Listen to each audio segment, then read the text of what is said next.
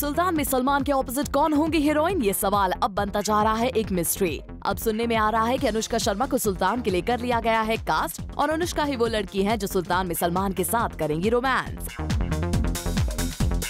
वैसे आपको बता दें कि अनुष्का से पहले भी कई नाम आए थे सामने.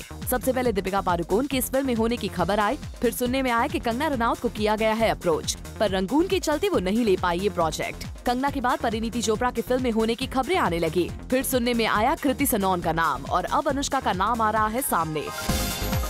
खबर है कि नवंबर में सुल्तान शूटिंग के लिए फ्लोर्स पर जाएगी और तब तक अनुष्का रणबीर के साथ वाली अपनी फ़िल्म ए दिल है मुश्किल का पहला स्केड्यूल कंप्लीट कर लेंगी और फिर सुल्तान की शूटिंग में लग जाएँगी. वेल वी होप कि अनुष्का ही सुल्तान की हीरोइन हो. कहीं ऐसा ना हो कि कुछ दिनों बाद एक और नाम आ जाए सामने.